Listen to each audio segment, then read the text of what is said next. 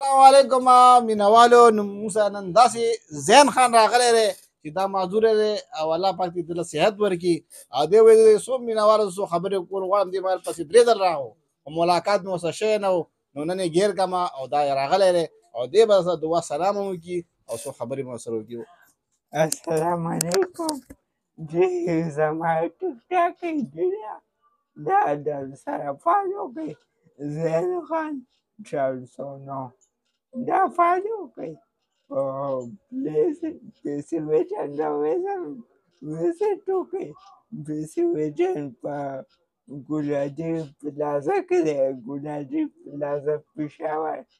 یونیورسټي روډ باندې ده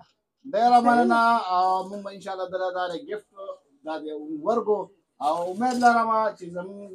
کم مینوالي هغه راشي چې چاته نه گیفتونه لري هم دې واري او په اسټارمان باندې او پناو باندې هم دې لپټاپ دې حاصل کړي ډیره مننه خدا حافظ